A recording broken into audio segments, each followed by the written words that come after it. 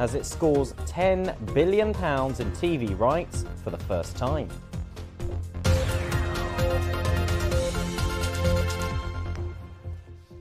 Hello, I'm Ben Boulos. A very warm welcome to World Business Report. Fears of a recession in the US could be stoked even further when employment figures are released later today.